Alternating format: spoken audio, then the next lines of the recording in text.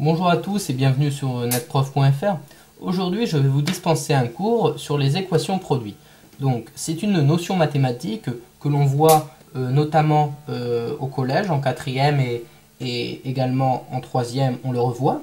Donc, qu'est-ce qu'on appelle euh, par équation, équation produit Donc, une équation produit, c'est une équation dont l'un des membres est un produit d'expression algébrique et l'autre donc membre est un zéro. Donc on peut noter donc par exemple A fois B égale 0. Donc on voit bien que le premier membre, c'est A fois B, quel que soit A, quel que soit B, donc avec des variables, etc., des chiffres.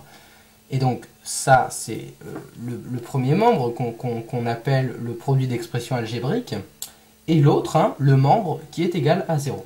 Donc, cette équation, quand on sait que A fois B égale 0, eh bien on peut dire que ça implique que a égale 0 ou B égale 0. Euh, On est d'accord. Pour que ça soit égal à 0, soit A égale 0 ou B égale 0. Eh bien, vous allez l'utiliser beaucoup. Bah, par exemple, je vais euh, noter x euh, plus 2 facteur fois 5 égale 0.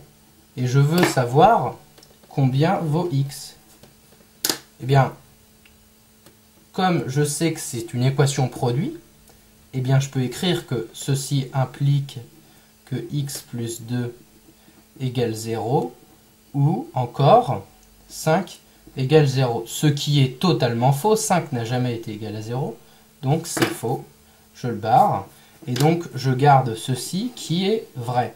x plus 2 égale 0, je passe mon 2 de l'autre côté, j'ai mon x, x égale moins 2. Donc c'est-à-dire que x plus 2 fois 5 égale 0 si x égale moins 2. On note le système de solution S, donc c'est S moins 2.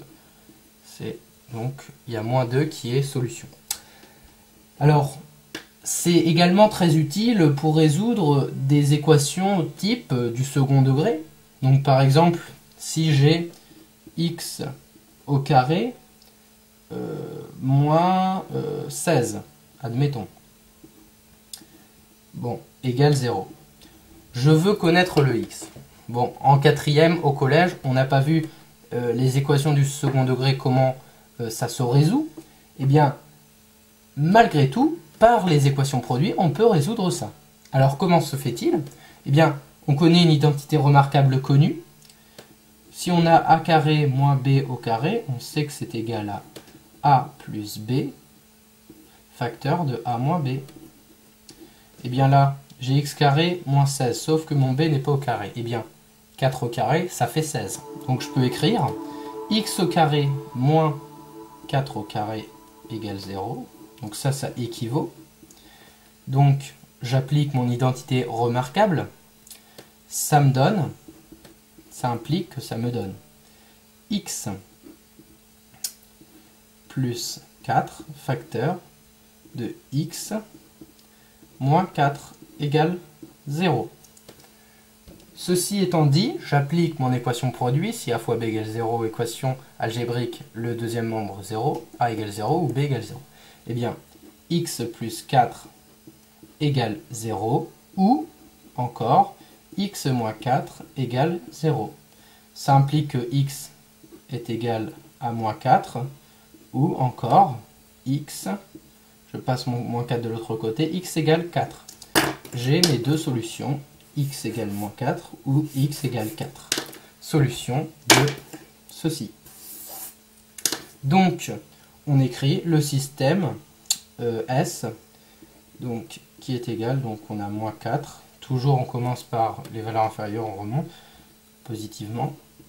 4. Donc voilà, j'ai mon système de solution. Donc vous avez compris ce que sont les équations produits et à quoi elles servent en particulier bah, à résoudre des équations du second degré. Je vous remercie, au revoir.